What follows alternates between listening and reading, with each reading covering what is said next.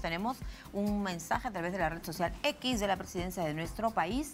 La presidenta Dina Boluarte felicita al candidato Donald Trump por lograr la victoria en la jornada democrática celebrada ayer en los Estados Unidos de América. Estamos seguros que durante su mandato se continuará profundizando y ampliando la fuerte relación estratégica que mantienen nuestros países en materia de inversiones, comercio y otras importantes áreas.